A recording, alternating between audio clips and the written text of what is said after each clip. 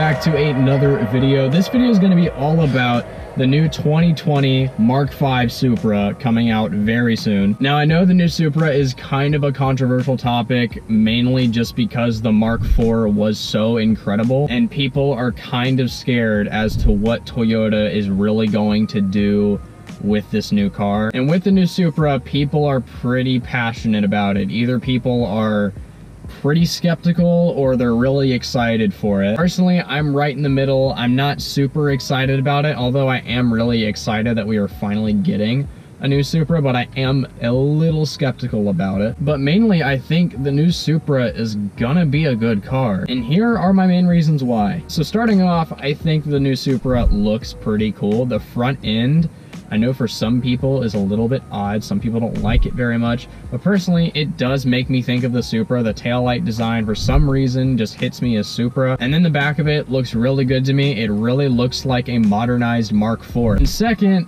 the biggest thing that the Mark IV Supra had was the 2JZ. And that's the biggest thing with this car is a lot of people are kind of skeptical as to if this car isn't gonna even be worth buying over a Mark IV because the 2JZ's tuning potential was just so high. I mean, you could push so much horsepower on a stock block with a 2JZ just because of how overbuilt it was. Now, of course, nobody can sit around and tell you how much horsepower the new Supra's B58 engine is going to be able to push because nobody's really had any tuning time with it. Toyota is outsourcing this engine. It is being made by BMW, but this isn't the first time they've outsourced an engine. They've done it quite a few times in the past, notably with the FRS and BRZ. But if they were to choose any brand to build them an inline six, personally, I'd probably want them to go with BMW. BMW has been making inline sixes for as long as I can remember, and they're one of the few companies that still do make inline sixes. And the B58 engine is going to be sharing the same bloodline with the N54 and N55 engines. And anybody that knows anything about those, their tuning potential is pretty high. The main thing that's worrying people about the B58 sharing a bloodline with those engines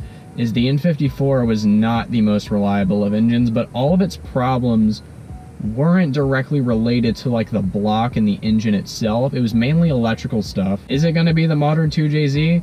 I can't really tell you if it is or not. I mean, I don't really think anybody can tell you if it is or not. Nobody's had any real tuning time with it. Now, the main thing that isn't so great with the new Supra is it's not going to be available in a manual, which is kind of weird thinking about a Supra not being offered with a manual transmission. You can only get it with an 8-speed auto as far as I know right now. Toyota might come out with a manual version later down the line, but all things considered, the new Supra is looking pretty good in my opinion. I want to know what you guys think though. Leave down in the comments what you guys think of the new Supra and I'll see you guys in the next one and have an awesome rest of your day.